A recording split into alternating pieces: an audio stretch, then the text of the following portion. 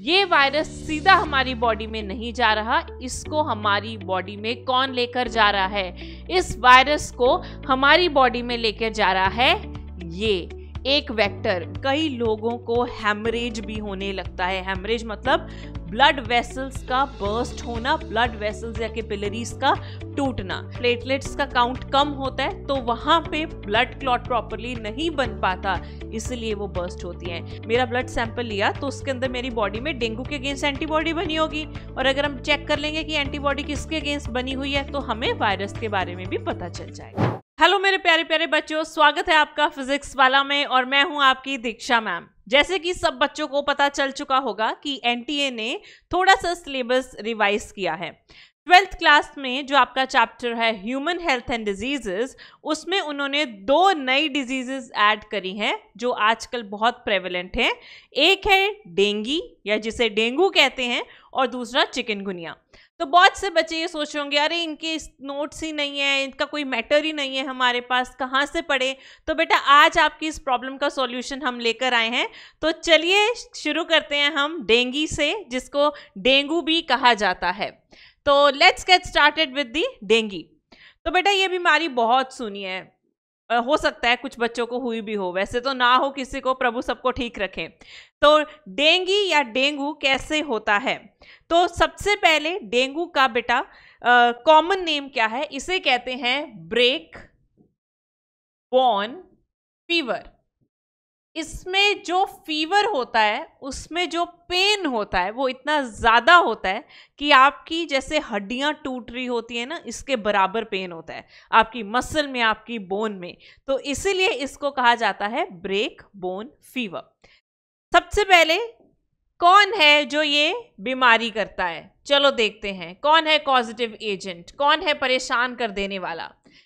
Dinghy एक viral disease है और डेंगू वायरस ये बीमारी करता है। डेंगू वायरस एक आरएनए वायरस है। इसका जीनोम क्या है बेटा? आरएनए। जैसे हमारे में डीएनए होता है, इस वायरस में आरएनए होता है। एक पर्टिकुलर फैमिली होती है वायरसेस की, जैसे आर्बो वायरस एक फैमिली है, उस वायरस को ये डेंगू वायरस बिलोंग करता है। राइट? right? कौन सी फैमिली को? आर्बो वायरस को। इस आर्बो को अगर स्प्लिट करके देखें, इसका मतलब है आर्थ्रोपोड बॉन आर्थ्रोपोडा सबने पढ़ा होगा बेटा। आर्थ्रोपोडा के बारे में सबने सुना होगा।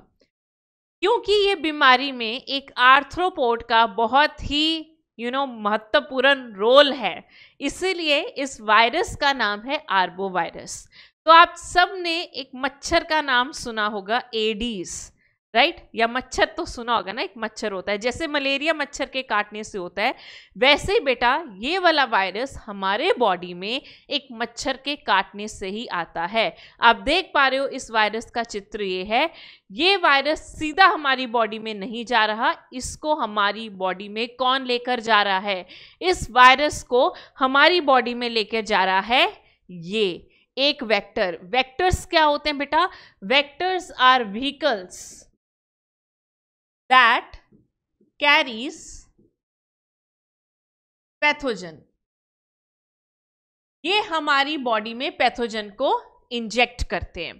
तो यहाँ पे जो आर्थ्रोपोड इस वायरस को हमारी बॉडी में लेके आ रहा है, वो है ये वाला आर्थ्रोपोड और इस आर्थ्रोपोड का नाम है बेटा एडीस एडीस एजिप्टाई होता क्या है कि फीमेल एडीज कौन बेटा? फीमेल एडीज हमें काटती हैं। अब आप बोलोगे, मैम, फीमेल एडीज हमें क्यों काटती है? मेल क्यों नहीं काटती? तो वैसे भी औरतें बदनाम है ना, औरतें खून पीती हैं, है ना? तो इनकी भी स्पीशीज़ में औरतें बदनाम है। राइट होता क्या है कि जो फीमेल मस्कीटो है, वो बाइट करती है, क्योंकि उसका एक कारण है, उसके पास पहली बात तो वो ऑपरेटर्स है बाइट करने वाला। मेल मच्छर के पास नहीं होता, उसके पास जो ऑपरेटर्स होता है, वो प्लांट की सैप को फ़ीड करने के लिए बनाया जाता है राइट अब फीमेल को क्यों हमारा खून चाहिए। हमारे खून में बहुत ज़्यादा आयरन और प्रोटीन्स होते हैं। तो ये आयरन और प्रोटीन्स उस मच्छर को चाहिए अंडा बनाने के लिए, बच्चों को डेवलप करने के लिए। मेल तो बच्चे नहीं पैदा करते ना, औरतें ही करती हैं। यूजुअली हमारी स्पीशीज में भी ऐसे ही है। तो ये फीमेल हमें क्यों बाइट करती है बेटा? फीमेल बाइट करती है क्योंकि उसको हमारे ब्लड में से आयरन और प्रोटीन चाहिए। That are very much essential for the egg development right तो फीमेल एडिस एजिप्टाई क्या करती है? ये बाइट करती है। Bites human and inject virus and inject virus अब मान लो ये बेटा एडीज है। अभी लिख लूँगी, लिखेंगे हम सब कुछ इसके बारे में डोंट वरी राइट ये एडीज है फीमेल एडीज अब ये एडीज ने एक इंसान को काटा, एक इंसान का खून पिया जिसको ऑलरेडी डेंगू था। अब उस डेंगू से जो बंदा ऑलरेडी जूझ रहा है, उसके बॉडी में, उसके ब्लड में डेंगू का वायरस है। अब नॉर्मल एक नॉर्मल मच्छर जब एक डेंगू वाले बंदे को काटेगा तो डेंगू का वायरस उस मच्छर के अंदर चला जाएगा। राइट? right? अब वो मच्छर क्या हो गया? इन्फेक्टेड तो जब ये फीमेल एडिस मस्कीटो ये फीमेल एडिस मस्कीटो क्या है बेटा? ये इन्फेक्टेड है। याद रखना नॉर्मल मच्छर के काटने से आपको कभी भी डेंगू, मलेरिया नहीं होता। आपको होता है जब मच्छर खुद इन्फेक्टेड हो, जब उसके अंदर खुद पैथोजन प्रेजेंट हो। तो जब ये इन्फेक्टेड मच्छर हमें काटेगा तो हमारे अंदर वायरस चला जाएगा और हमें भी डेंगू आगे होगा। फाइन तो ये जो मच्छर है एडीज आपने सुना होगा, ये ज़्यादातर एक्टिव दिन में होता है। तो दिन में जो मच्छर काटता है यूजुअली कहते हैं, उससे डेंगू होता है। जो रात को काटता है, उससे मलेरिया होता है। क्योंकि एनोफिलिस का टाइम है रात का और एडिस का एक्टिव टाइम है दिन का। अगलों की अपनी सुलह हुई होगी, मैं दिन में आऊँगा तो रात को आई हो, या शिफ्ट टाइमिंग्स होंगे राइट तो एडीज की पहचान ये है बेटा एडीज में आपको ब्लैक कलर का मच्छर होगा और उस पर व्हाइट कलर की ऐसे स्ट्राइप्स दिखेंगी। व्हाइट कलर के डॉट्स या स्ट्राइप्स दिखेंगी, ये इसकी पहचान है। एनोफ्लीज वाला हल्का सा डार्क ब्राउन कलर का होता है और जो एडीज होता है वो ब्लैक कलर का और उसके ऊपर वाइट कलर की धारियाँ सी होती है, ये इसकी पहचान है। तो दिन में देख लेना, दिखा तो वहीं पे, ठा कर देना उसको राइट तो हमें फीमेल क्यों काटती है बेटा? बिकॉज़ क्या रीज़न बताया? Because female mosquito needs iron and proteins from human blood. Human blood से आयरन और प्रोटीन चाहिए। Essential for egg formation and development essential for egg formation and development ठीक है? तो सबसे पहले डेंगू का वायरस क्या है बेटा? डेंगू वायरस एक आरएनए वायरस है। कौन सी फैमिली को बिलोंग करता है? आर्बो वायरस आर्बो वायरसेस वो वायरसेस होते हैं जिनका यूजुअली वेक्टर होता है। और वेक्टर आर्थ्रोपोड होता है। यहाँ पे कौन सा वेक्टर है बेटा? आर्थ्रोपोड एक मच्छर फीमेल मच्छर एडीज एजिप्टाई और ये मच्छर की खास बात है, इसके ऊपर व्हाइट कलर की धारियाँ होती है। और फीमेल ही क्यों बाइट करती है? क्योंकि उसको प्रोटीन चाहिए आयरन चाहिए हमारे ब्लड से, जिससे कि वो अच्छे से एग की फॉर्मेशन कर पाए। Right right? तो अब ये साइकिल देखो इधर बेटा। वाइल्ड एडीज थी। वाइल्ड एडीज का मतलब नॉन इन्फेक्टेड एकदम नई ताजी है ये। यहाँ पे नॉन इन्फेक्टेड एडीज थी, उसने एक इंसान को काटा, ये इंसान था इन्फेक्टेड पर्सन इसको ऑलरेडी डेंगू था, ठीक है? अब इसके अंदर ये डेंगू वायरस आ गया, अब इसने नॉर्मल बंदे को काटा, अब ये नॉर्मल बंदे को भी सिम्टम्स आने लग गए, इसको भी डेंगू हो गया। तो कहते हैं दो दिन बाद आपको ज़्यादा सिवियर सिम्टम्स आने लगते हैं राइट तो एक कहते हैं ना कि वायरस को भी तो मल्टीप्लाई होना है, उसका भी एक डेवलपमेंटल पीरियड होता है। तो उसके बाद वो अपने एकदम से दिखाना शुरू कर देता है। फाइन तो अब देखते हैं कि बेटा डेंगू के सिम्टम्स क्या क्या होते हैं। लेट्स टॉक अबाउट सिम्टम सबसे पहले इसका कॉमन नेम जान लो। कॉमन नेम है ब्रेक बोन फीवर तो सबसे पहला सिम्टम बेटा यही हो गया कि आपको बहुत तेज बुखार होगा। 102 तो आम होता है 103 104 यहाँ तक भी पहुँच जाता है। तो अगर बहुत ज़्यादा फीवर है तो समझ लो कुछ ना कुछ ऐसा ही है। इसके अलावा बॉडी पे रैशेस होने लगेंगे आपको। ये दो सबसे कॉमन सिम्टम्स है आपके डेंगू के। आपकी मसल पेन और बोन्स में और जॉइंट्स में पेन होगी यस मसल में पेन जॉइंट्स में पेन हड्डियों में पेन आपको लगेगा जैसे आपकी हड्डियाँ टूट रही हैं। राइट? right? इसके अलावा आपको बहुत तेज सर दर्द होगा। ऐसे लग रहा, लगेगा सर फटने वाला है। इसके अलावा आपको अपनी आँखें भारी लगेंगी और आँखों में भी बहुत पेन होगा। सो पेन इन दी आई बॉल ऐसे लगेगा कि आँख बहुत भारी हो गई है और बहुत ज़्यादा तेज का दर्द है। आपको नोजिया भी हो सकता है, आपको वॉमिट भी आ सकती है। नोजिया वॉमिटिंग में क्या फ़र्क होता है? नोजिया में जी कच्चा होना वॉमिटिंग में वॉमिट आना। और एक सबसे इंपॉर्टेंट स्वोलन लिम्फ नोड्स या ग्लैंड स्वोलन लिम्फ नोड्स या टॉन्सिल्स ये एकदम से टॉन्सल्स आपके स्वेल हो जाएँगे, यहाँ पे एकदम सोलन हो जाएँगे।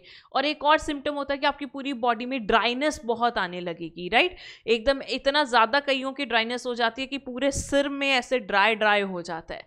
फाइन ये एक नॉर्मल डेंगू के बेटा सिम्टम्स हैं, जो आपको आते हैं आई में पेन फीवर हेड एक nausea vomiting rash joint pain bone pain and muscle pain तो आपने सुना होगा कि जिनको डेंगू होता है, उनका ब्लड टेस्ट कराते हैं और पता चलता है कि प्लेटलेट काउंट कम हो गया, है ना?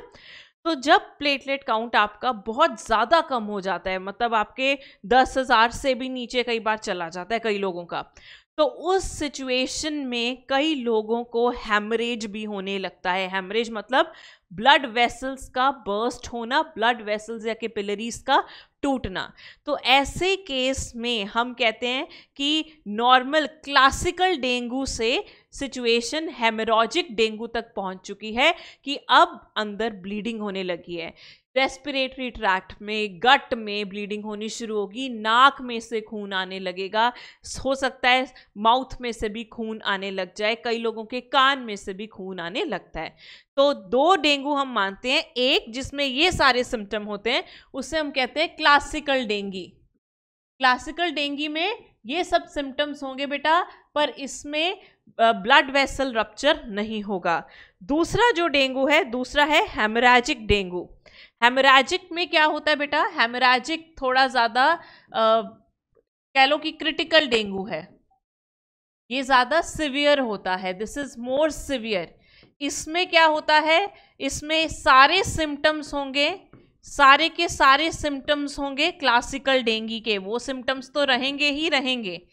All are the symptoms of classical dengue plus they will be burst of capillaries सारी ब्लड वेसल सारी तो नहीं नॉर्मली जो पतली पतली कैपिलरीज होती हैं क्योंकि उनमें ब्लड का थोड़ा सा फ्लो होता है, वो टूटने लगती है प्लेटलेट्स का काउंट कम होता है तो वहाँ पे ब्लड क्लॉट प्रॉपरली नहीं बन पाता, इसलिए वो बर्स्ट होती हैं। तो आप सबने सुना होगा कि प्लेटलेट का काम ब्लड क्लॉटिंग में होता है। अगर प्लेटलेट ही प्रॉपर नहीं होगा तो बेटा आप सबको पता है ब्लड क्लॉटिंग प्रॉपरली नहीं होगी राइट तो जब ब्लड सैंपल्स देखते हैं तो प्लेटलेट का काउंट हमेशा डेंगी में कम मिलेगा। अगर किसी का प्लेटलेट काउंट बहुत ज़्यादा ड्रॉप हो गया तो हो सकता है कि उसको डेंगू हो। ओके तो ये थे बेटा सिम्टम क्लासिकल डेंगू के और हेमराजिक के। अब डायग्नोसिस देखते हैं। डायग्नोसिक में एक तो हम ब्लड टेस्ट लेते हैं, आप सबने सुना होगा। ब्लड टेस्ट में हम प्लेटलेट्स का काउंट डब्ल्यूबीसी का काउंट देखते हैं। और दूसरा एक टेस्ट होता है टॉर्निक्विट टेस्ट टॉर्निक्विट टेस्ट में हम क्या देखते हैं? एक बैंड लेते हैं और उसको यहाँ बाँध के एकदम टाइट कर देते हैं। अगर किसी को डेंगू होगा तो उसमें प्लेटलेट काउंट कम होगा और अगर प्लेटलेट काउंट कम होगा तो उसके कैपिलरीज बर्स्ट करेंगी। अगर किसी बंदे को डेंगू है, उसमें प्लेटलेट काउंट कम होगा, उसके ब्लड वेसल्स कैपिलरीज बर्स्ट होंगी तो आपको ऐसा पैटर्न स्किन पे दिखेगा। तो मतलब इस बंदे को हो सकता है डेंगू है, तभी उसमें ऐसे रैशेस बन रहे हैं। इस टेस्ट को हम कहते हैं tourniquet test, this is Q. इस टेस्ट को हम कहते हैं टॉर्निक्विट टेस्ट, कि मतलब आपने जब बैंड लगाया, टाइट किया तो कुछ कैपिलरीज टूट गई। प्लेटलेट नहीं था तो क्या हुआ? रैश बन गया। And rash is a symptom of dengue. High fever और रैश होना सिम्टम होता है डेंगू का। और अगर ब्लड टेस्ट में प्लेटलेट काउंट भी कम आ गया तो भाई मान ही लो। ठीक है? बाकी मैं डॉक्टर नहीं हूँ डॉक्टर से पूछ लेना, पता लगे किसी को कुछ हो रहा है और तुम खुद डॉक्टर बन रहे हो कि मैम ने बताया था। तो ऐसी चीज़ें सीधा डॉक्टर के पास ले जाएँ, हाथ जोड़ के बोलें कि देख लो जी, हमें ये हुआ है, अब क्या हिसाब है ओके चलिए। ट्रीटमेंट एंड वैक्सीन वैसे तो ये वायरस है। आप सब बच्चों ने सुना होगा कि वायरसेस के लिए हमारे पास ज़्यादा मेडिसिन नहीं होती। बैक्टीरिया के लिए तो हम एंटीबायोटिक्स खा लेते हैं। तो फिर डॉक्टर इस केस में क्या करते हैं? दर्द को कम करने के लिए पेन वाली दवाइयाँ देते हैं, पेन किलर्स दे देते हैं, राइट? पेन किलर्स को हम एंटी पायरेटिक्स भी बोलते हैं। फाइन बच्चा। और साथ ही साथ डॉक्टर्स आपको कहते हैं, ज़्यादा से ज़्यादा पानी पीजिए फ्लूड्स पीजिए, नारियल पानी पीजिए, खुद भी आईवी लगाते हैं, राइट? तो ये ही ट्रीटमेंट है, अभी और कोई ट्रीटमेंट इसका नहीं है। राइट ऐसी कोई सच दवाई नहीं है, खाओ और एकदम ठीक हो गया। पर एक चीज़ है कि इस केस में क्योंकि ब्लड वेसल्स बर्स्ट हो रही हैं हैमरेज के चांसेस होते हैं तो बोला जाता है एस्पिरिन जैसी दवाई नहीं लेनी चाहिए। एस्पिरिन नॉट रिकमेंडेड नहीं लेनी चाहिए रीज़न क्योंकि एस्पिरिन बेटा क्या करती है? ये आपकी स्टमक की वॉल को इरोड करती है, तोड़ देती है गैस्ट्राइटिस कर देती है, हमारे जो स्टमक में म्यूकस लाइनिंग होती है ना, उसको काट देती है। तो आप ऑलरेडी हैमरेज के चांसेस पे हो। आप ऐसी कोई चीज़ ले लोगे जो ऑलरेडी आपकी वॉल को तोड़ रही है तो उससे हैमरेज के चांस और बढ़ जाएँगे। समझ रहे हो? इसलिए ऐसी दवाइयाँ, एस्प्रिन, आइबोप्रूफिन जैसी जो दवाइयाँ होती हैं, वो मना की जाती हैं कि नहीं लेनी चाहिए।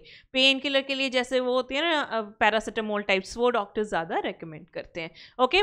बाकी again I am telling you मेरी रिकमेंडेशन से कोई दवाई नहीं खानी, जो डॉक्टर बोले वही करना है।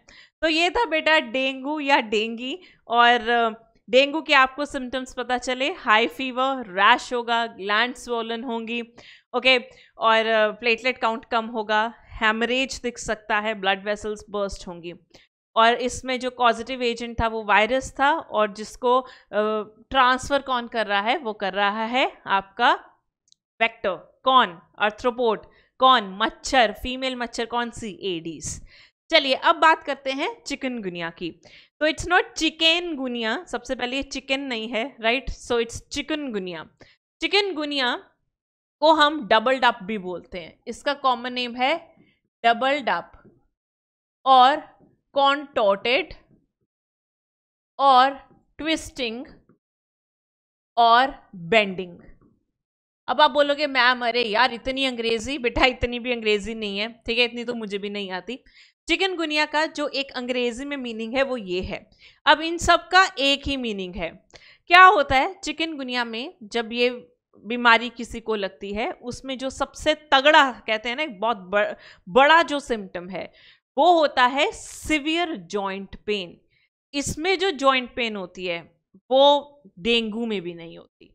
इसमें जॉइंट पेन बहुत ज़्यादा होती है एज अ रिज़ल्ट आपका पोस्चर खराब हो जाता है आप ऐसे झुके झुके से हो जाते हो। तो इसे कहते हैं डबल डाफ्ट अगर मेरे पास एक वायर है बच्चे मान लो मेरे पास से वायर है ठीक है? मान लो मेरे पास ये वायर है, ठीक है? ये सीधी है वायर। अब अगर मैं इसे फोल्ड कर दूँगी तो ये डबल हो गई ना? ये क्या हो गई? डबल हो गई, दो हो गई। तो ऐसे ही इसमें होता है। इसमें आप में इतनी जॉइंट पेन होती है कि आपका बॉडी का पोस्चर झुका हुआ होता है, आप डबल हो जाते हो, इसे कहते हैं डबल्ड अप आप ट्विस्ट हो जाते हो, आप बेंड हो जाते हो राइट right? तो ये है इसका कॉमन नेम क्या है कॉमन नेम डबल्ड अप और कॉन्टोटेड और ट्विस्टिंग और bending this is what is chikungunya यही है इसका मतलब। ओके okay, तो ये तो हुआ बेटा इसका कॉमन नेम जैसे उसका था ब्रेक बोन फीवर इसका है डबल डाप्ट अब बात करते हैं कि इसको कौन कॉज करता है? What is a causative agent again ये भी एक वायरल डिज़ीज़ है। हो सकता है कि आपको नीट में एकदम सिंपल ही क्वेश्चन आ जाए इसका। ये भी आ सकता है, बताओ इनमें से वायरल डिज़ीज़ कौन सी है? या बताओ इसमें से वायरल कौन सी नहीं है? तो सीधी सी बात है, डेंगू भी वायरल है बेटा, चिकनगुनिया भी वायरल है, ठीक है? तो चिकनगुनिया कौन करता है कॉज अगेन एक वायरस चिकन गुनिया वायरस ये भी एक आरएनए वायरस है और ये भी उसी फैमिली को ही बिलोंग करता है। It is also arthropod borne arbo virus है। ये भी कौन सा वायरस है बेटा? ये भी आर्बो वायरस है। अगेन, इसमें एक और चीज़ सेम अगर आपने डेंगू पढ़ लिया चिकनगुनिया बहुत आसान हो जाएगा, क्योंकि हर चीज़ ऑलमोस्ट सेम है इसमें। इसमें जो वायरस है, वो भी वेक्टर के थ्रू जाता है। इसमें भी जो वेक्टर है बेटा, वो है फीमेल एडीज मस्कीटो कारण वही है, बेचारी खून पीने आई अपने बच्चों के लिए, पर उसको खुद नहीं पता था उसके अंदर वायरस है और वो आपको भी वायरस दे देगी। एक बार जो मच्छर या मच्छरी कह लो, एक बार जो मच्छरी इन्फेक्टेड हो गई, उसके अंदर अगर एक बार वायरस आ गया, वो पूरे जीवन उस वायरस को घुमाती रहेगी इन्फेक्शन देती रहेगी। यस दिस इज़ ट्रू उसके अंदर वायरस रहेगा क्योंकि उसको नहीं पता कि उसको दवा खानी है। उसको हाई फीवर रैश नहीं हो रहा। ठीक है? तो वंस कहते हैं, अगर एक बार मच्छर इन्फेक्टेड हो गया तो वो सारी उम्र आपको घुमाता रहेगा, है ना? वो खुद इधर जाएगा, उसको इन्फेक्टेड कर देगा, उसको कर देगा, उसको कर देगा। तो बेहतर यही है कि मच्छरों को मार दो ओके तो यहाँ पे भी बेटा वेक्टर कौन है? फीमेल एडीज मस्कीटो ही है। वही सेम कहानी है इन्फेक्टेड पर्सन से वायरस उठाएगी नॉर्मल पर्सन को दे देगी। ओके तो वही एडीज है सेम वही आप देख पा रहे हो, इसमें भी वैसे ब्लैक के ऊपर व्हाइट कलर के स्पॉट है और ये भी बेचारी दिन में ही एक्टिव होगी। और ये है आपका वायरस कौन सा वायरस यही चिकनगनिया का वायरस ओके चलिए अब बात करते हैं सिम्टम की। सिम्टम क्या होंगे? वैसे ही हाई फीवर होगा। वैसे ही हाई फीवर होगा। वैसे ही रैश होगा। वैसे ही स्वोलन ग्लैंड्स होंगे। वैसे ही मसल एंड जॉइंट पेन होंगी। बस इस केस में क्या होता है? There is severe joint pain इसमें जो जॉइंट पेन होती है, उसमें नहीं होती। Right right? वैसे ही बेटा हेडेक होगा। वैसे ही हेडेक होगा फीवर होगा। तो कई बार क्या होता है अगर सिम्टम्स सेम है ना तो कई बार मिसडाइग्नोसिस भी हो जाती है कि आ, आ, सारे सिम्टम तो सेम है। अब कैसे पता चिकनगुनिया है या डेंगू है? तो इसमें पता करने का एक तरीका है पहला कि इसमें जो जॉइंट पेन है वो आपको चलने भी नहीं देगी। डेंगू में तो आप फिर भी थोड़ा बहुत हिम्मत करके चल लोगे। इसमें जॉइंट पेन तो आपको बिल्कुल भी चलने नहीं देगी। मैंने आपको एक पहले पिक्चर दिखाई कि बंदे का पोस्चर ही खराब हो गया, है ना? और दूसरा कि जब डॉक्टर को लगे कि भाई ये तो कुछ और भी लग रहा है तो डॉक्टर क्या करते हैं?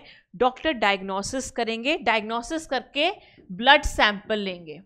अब ब्लड सैंपल में सबसे पहले डॉक्टर चेक करेंगे प्लेटलेट काउंट अगर प्लेटलेट काउंट बहुत ज़्यादा गिरा हुआ है तो प्रॉब्ली दैट्स अ डेंगू और फिर वो देखेंगे कि देखते हैं इसमें वायरस कौन सा है। तो R T P C R करेंगे और पर्टिकुलर वायरस को चेक करेंगे कि क्या ये डेंगू का वायरस है या फिर ये चिकनगुनिया का वायरस है।